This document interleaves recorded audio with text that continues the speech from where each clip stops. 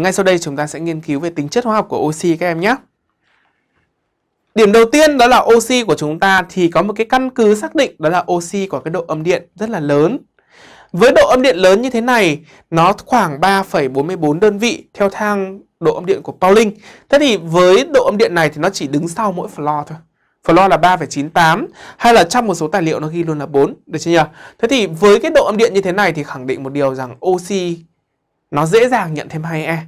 Được chưa? Và khi oxy nhận thêm 2E như thế này rồi thì nó khẳng định một điều nữa là oxy nó sẽ có khả năng thể hiện tính oxy hóa rất là mạnh. Được chưa nhỉ? Điểm thứ hai là không chỉ thông qua cái độ âm điện đâu. Không chỉ thông qua cái độ âm điện mà nhiều khi là chúng ta uh, chỉ cần nhìn vào trong cái cấu hình E. Cấu hình E của oxy chúng ta biết được rồi. Đó là 1S2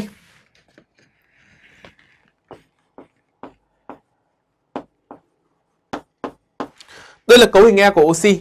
Với cấu hình E của oxy như thế này chúng ta thấy được rằng là cái lớp ngoài cùng của nó có 6E. Như vậy để đảm bảo cấu hình bền thì chắc chắn nó phải nhận thêm 2E hay là góp chung 2E đúng không ạ? Đấy, như vậy là nó sẽ tạo thành cái sản phẩm ở đây như thế này. Được chưa? Đấy, lưu ý giúp thầy nhé. Và oxy là nguyên tố phi kim hoạt động và có tính oxy hóa mạnh.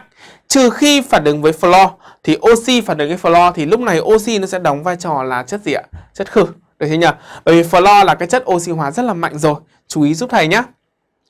Trong các hợp chất thì trừ hợp chất với fluor thì uh, nguyên tố oxy thì có số oxy hóa là trừ 2. Thì hai cái hợp chất với fluor và chất peroxide thì chúng ta sẽ rất ít nghiên cứu ở trong chương trình của chúng ta nên là tạm thời chúng ta gác sang một bên để sau này khi nào mà chúng ta đã nắm rất là vững, nắm rất là rõ về oxy và các hợp chất của nó rồi thì chúng ta lại lật lại các quá trình này thì khi đó chúng ta làm nó phải nhớ được các em nhé. Để thể hiện tính oxy hóa của nó thì đầu tiên oxy nó sẽ thể hiện thông qua cái phản ứng với kim loại. Oxy có khả năng tác dụng với tất cả các kim loại. Đúng không ạ? Tất cả các kim loại hoặc là hầu hết các kim loại, trừ các kim loại quý. Đúng không ạ? Trừ các kim loại quý. Ví dụ như là chúng ta mà đeo dây bạc, dây vàng hay là nhẫn bạch kim chẳng hạn mà oxy nó phản ứng thì rõ ràng là cái tính quý của nó bây giờ nó sẽ không được thể hiện nữa rồi. Đúng không ạ? Nên là các kim loại quý nó sẽ không phản ứng với oxy các em nhé. Về quá trình như thế này, ví dụ kim loại M này, bây giờ cộng với oxy không khí, dưới tác dụng của nhiệt độ thì nó sẽ tạo thành là M2ON được chưa? M2N.